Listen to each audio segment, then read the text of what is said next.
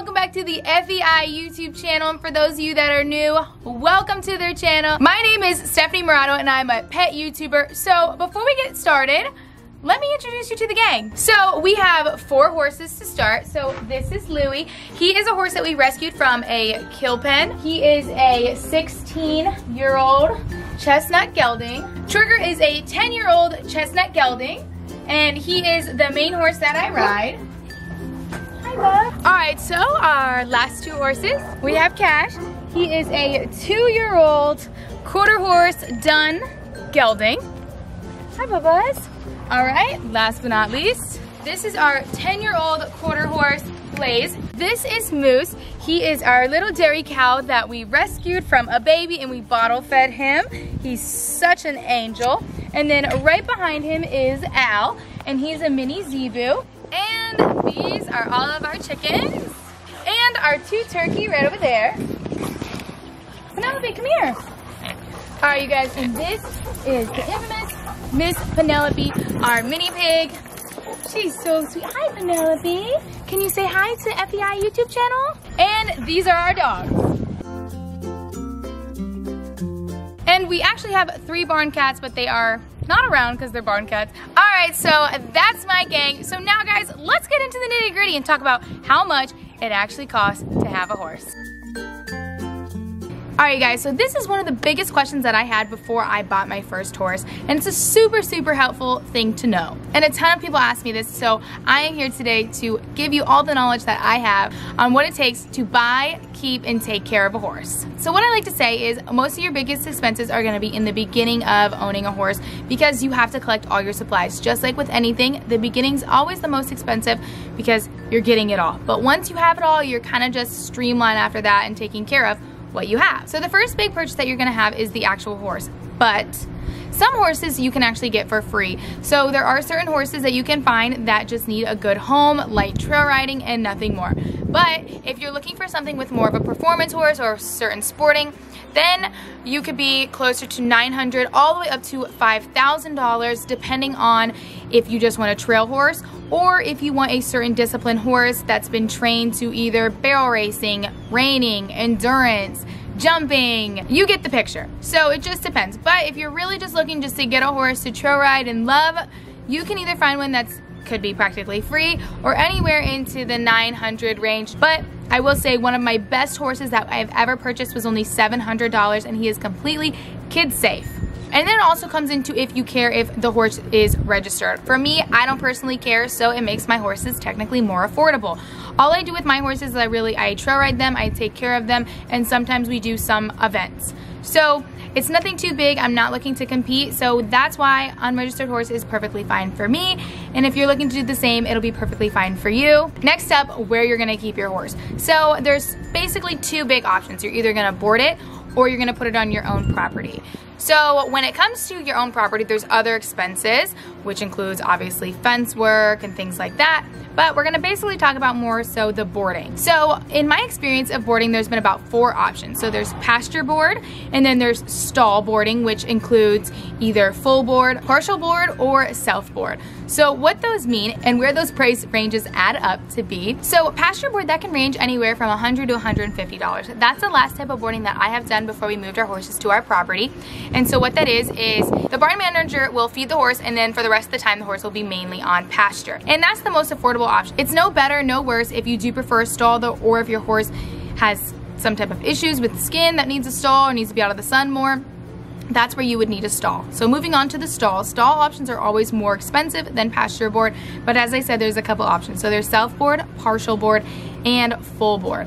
The most expensive being full board and the cheapest being self board. So self board around my area runs about the same as pasture board.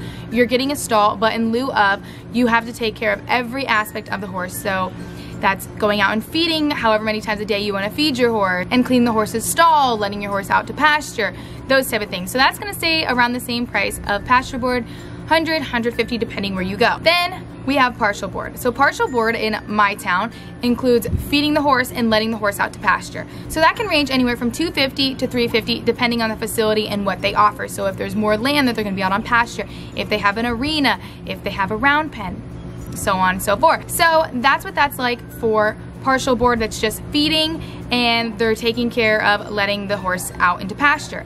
Now, full board, this is all the works. They're actually feeding, letting your horse out to pasture, buying the hay and grain, usually buying the shavings that go in the stall. So all of that. And in my area, that can range anywhere from $350 to $600. But trust me, it's only preference at this point and what your schedule can take. It didn't matter to me that my horses were on pasture because they were able to be out all day, graze all day, and then come in to eat and then go back on pasture. Now it comes to actually feeding the horse. So basically what a horse needs is grain and hay and then supplements in certain case scenarios. For my horses, we keep it pretty simple. None of my horses are on any supplements. Um, sometimes in the summer we do put Trigger on a supplement just for his skin, but for the majority, he's rarely ever on that. So grain though, it can range from $14 to $30. So we have four horses. Two of my horses are really easy keepers. So what I mean by that is they can manage their weight really well. So they use a $14 feed that's from Tractor Supply. The brand is DuMOR and that works great for them. It keeps them super fat, super healthy. And then on the other hand, my other two horses, they're a little bit of hard keepers. So we actually have them on a senior feed, which is a Seminole senior feed, and that's actually upward of $20. So it just depends, but the DuMOR feed is just as good. It just doesn't have as much protein in it than the senior feed. So more protein, usually the more expensive the grain will be. And then hay in my area is about $15 for a two string bale of TNA. So that's Timothy and alfalfa. You can price shop it around in my area too. So I have seen as low as $12 and as high as $15, $16. Okay, so so far we've got the horse, we've got a place for the horse to stay, and we have fed the horse. Now we need to talk about medical. So basically, how to keep your horse really healthy. So for horses, there's a blood test that they have to get annually, so once a year, that's called a Coggins test. So a Coggins test is a blood test that detects a horse disease called equine infectious anemia. So they are required to have that. And if you go to any shows or if you travel with your horse, you always need to have a, in my area, it's in a paper form or on your phone that just proves that it has a negative Coggins test. It's very contagious, so that is always an annual expense. That ranges in my area from 30 to $40. And then a farrier. So what a farrier does, it actually trims, clips a horse's hoofs. So horses have to maintain really healthy hoofs, so a farrier every four, six, eight weeks. I just say that range because it really depends on the horse. If your horse's hoofs grow quicker, or if they get damaged more, they may need sooner, or if your horse's hoofs don't grow as quick and there's no cracks or anything like that, they can probably go out more of the eight weeks. So what that ranges around is about 30 to $45 depending on your farrier and that's for barefoot horses. All my horses are barefoot and I've never needed shoes on my horses so it's fairly inexpensive. Now, if you do have to shoe a horse, that can go up into upwards $100 and you'll need to replace them. So that one does get kind of expensive, but all my horses have been barefoot. I know a ton of people with barefoot horses. If you're just trail riding, you're gonna be pretty much perfectly fine with just a barefoot horse. And then also what I like to do at the same time that I get my horse's hoofs trimmed, I go ahead and worm them. Horses need to be wormed about every six weeks and they need to be alternating wormers. So they range from anywhere from $5 upward to $20 depending on the brand, but that's actually a really fairly inexpensive part of having horse. And then also another yearly thing that they have to get is their teeth floated. So what that means is a horse dentist just has to file down some of their teeth that get sharp over time and that can be kind of expensive. We actually use someone who doesn't use power tools and it's only $60 annually or it can be upward of maybe $300 depending on the case. At one point, one of my horses had to be pretty sedated to get their teeth floated so all the sedation added up and it was pretty expensive but now they all do really well with it, so it's just $60 annually, and some horses even go one to two years.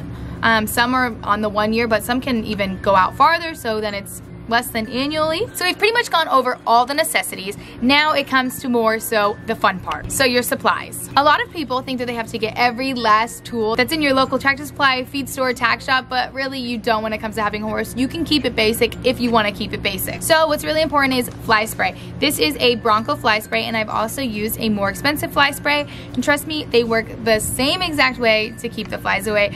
I don't think there's any magical juice in any fly spray. They've all been really great to me. This bottle of fly spray is half the price of another bottle of fly spray that I was using.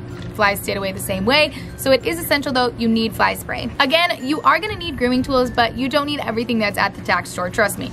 Really, the basics are a hoof pick, and you can find these sometimes at just $1. So this is important. Then you're gonna need a curry comb. These also come in many forms. You can get a super fancy name brand one, and it will probably be a bit expensive. This one is just not name brand, does the same exact thing as the name brand does, and this is just a couple dollars as well. And then a brush. You can also use a comb or even like an inside brush if you want, whichever is the cheapest. This brush is really not anything special.